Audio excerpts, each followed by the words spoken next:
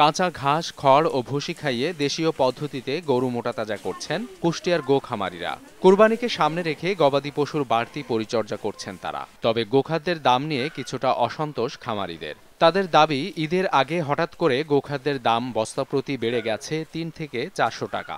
এতে লাভের অঙ্কে ভাটা পড়ার সংখ্যা করছেন প্রান্তিক খামারিরা। এ অবস্থায় সরকারিভাবে বাজার মনিটরিং করার দাবি তাদের। কুরবানির ঈদ আসলে পরেই মানে গরুর খাবারগুলোর দাম এত বেশি পরিমাণে বাড়ে যেটা আমাদের গরু ই করে মানে পালন লালন পালন করে খাওয়াই দেয় তাদের লাভজনক কিছু আসে না। ছয় মাস আগে ছিল সাড়ে সতেরোশো করে এখন হচ্ছে আঠারোশো পঞ্চাশ টাকা করে।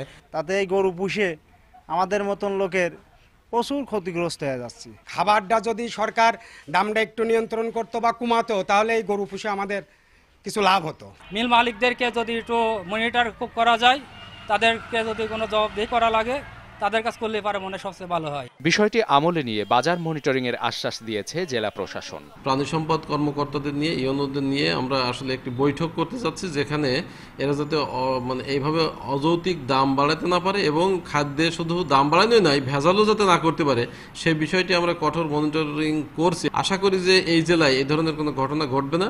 আর যদি ঘটে তা তো তাদেরকে সাথে সাথে আমরা শাস্তির আওতায় নিয়ে আসব।